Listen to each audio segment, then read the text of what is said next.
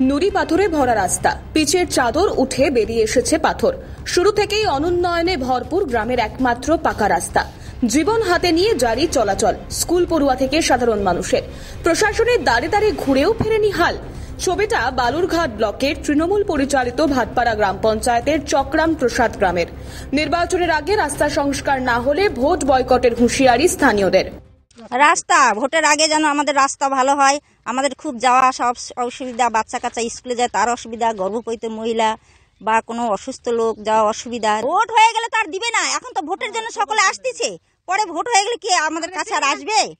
আমরা রাস্তা চাই। রাস্তা না হলে আমাদের যাওয়া আসা মুশকিল আমাদের বাচ্চা কাচ্চা স্কুলে যেতে পারছে না। আমরা যদি ভোট যদি আমাদের না রাস্তা না হয় তাহলে আমরা নির্বাচনে ভোট দেব না। কিন্তু এর আগে জানানো হয়েছে যে রাস্তা ঠিক করে দেন। বলছে যে হ্যাঁ ভোট ভোট হয়ে যাক তারপর রাস্তা ঠিক হবে। কিন্তু ভোট হয়ে গেলে আর রাস্তা ঠিক হয় না। সে আজকে থেকে না দশ বারো বছর থেকে। সামনে তো ভোট। ভোট আমাদের রাস্তা ভালো না হলে আমরা ভোট দিতে যাচ্ছি না।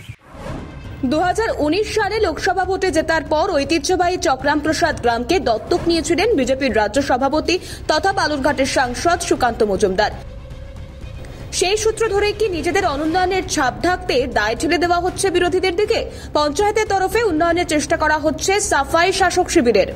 দেখেছেন এই গ্রামের প্রত্যেকটা রাস্তা এতটা বেহাল দশা উনি চাইলে যে কোনো সময় এই দত্তক নেওয়া গ্রামটার উন্নয়ন করে দেখাতে পারতেন কিন্তু উনি এক ফোঁটাও উন্নয়ন করে দেখাননি। তুলে দেওয়া হয়েছে ওনারা করবেন কি না সেই অপেক্ষায় আমরা থাকছি না।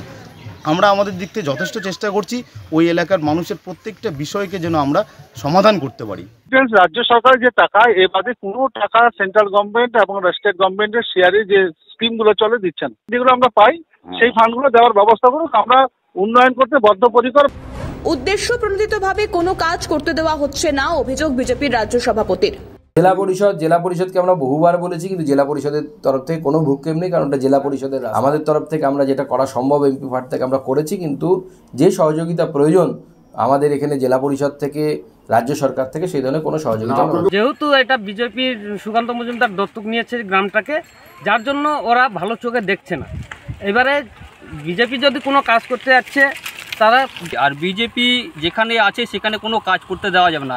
বিশেষত যেহেতু সুকান্ত মজুমদার গ্রামটাকে দত্তক নিয়েছেন, যাহাতে এই গ্রামে নিচু দেখানো যায় যে বিজেপি কোনো কাজ করতে পারছে না, তার জন্যই সমস্ত এই রাস্তাগুলো আটকে দেওয়া পঞ্চায়েত নির্বাচনের আগে ঘটা করে প্রকল্পের উদ্বোধন করছে শাসক শিবির। কিন্তু উন্নয়নের লেশমাত্র চোখে পড়ছে না বঙ্গে। তাহলে কি নিজেদের কাজের ফাঁক ফোকর ঢাকতেই দোষ চাপানো হচ্ছে বিরোধী শিবিরের দিকে? প্রশ্ন উঠছে। দক্ষিণ দিনাজপুর থেকে শঙ্কর কুমার রায়ের রিপোর্ট, ক্যালকাটা নিউজ।